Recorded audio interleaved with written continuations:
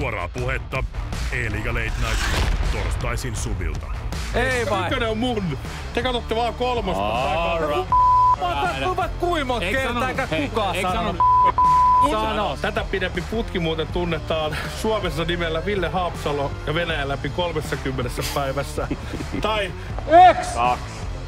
Tai yksi on. Sano kakkonen on yhteinen. No ja tää muikin kuin puheenjohtaja. Täällä on varakaput. No, taisi tulla tossa paljon. ei se jännittää niin paljon, se syö omenaa sille tälleen. Ai meillä on tää... Mä katson nyt kakkosen. No niin, Ihan olette varmasti valmiita. No niin. taulusta kakkoseen. Suoraa puhetta Eliga Late Night torstaisin Subilta.